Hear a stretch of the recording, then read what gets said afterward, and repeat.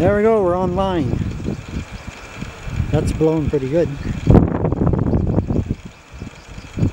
3.6 meter, right? The diameter? Yep. 10 feet. I'd say more like 3. Maybe I'm wrong. Now, let's try to, I don't know if I, well, you, you get a pretty good view of it there. Yeah. I'm zoomed in there. Yeah. See, it never really spins that fast. Like, you've seen the Skystream, I'm sure, and other turbines. They